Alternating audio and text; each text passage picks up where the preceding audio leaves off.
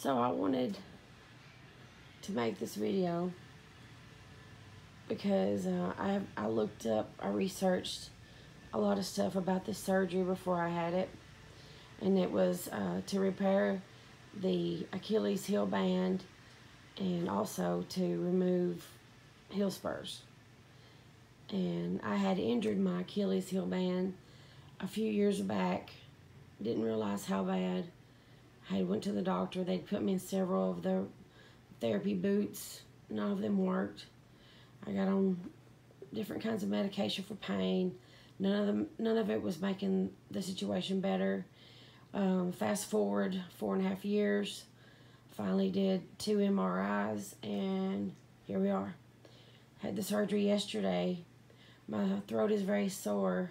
Obviously, it sounds like I'm sick, but it's just a sore throat from having being in, uh, the tube in my throat for breathing in, in, intubation. Can't say the word. Um, still no feeling in my foot, which is weird. Did a um, did, did a um, a blocker in the my knee to my foot to kind of like do a leg um, epidural, I call it, the leg dural. Um, it blocked at first. It, I didn't think it was working, but then it, it took effect and it's still numb.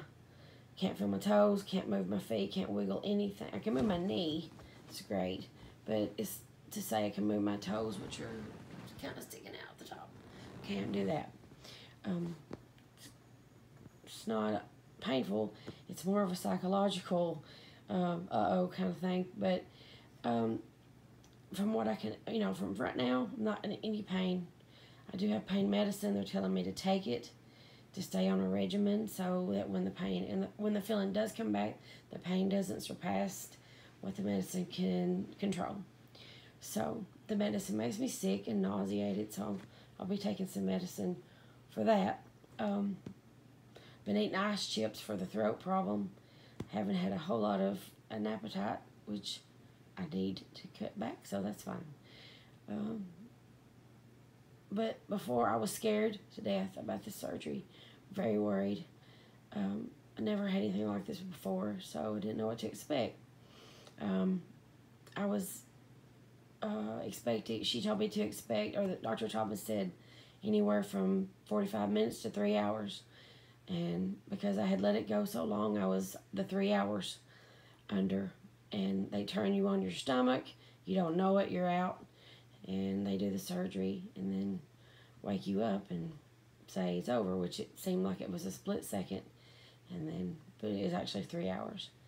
Uh, in a day or so, I may do another video and just let you know crutches are not a good thing for me. I'm opting to use the walker because I am a wreck on crutches. I do have a wheelchair, but the the, the walker just seems I feel comfortable, safe, and stable using it to the bathroom and back. And just thought I'd let you know.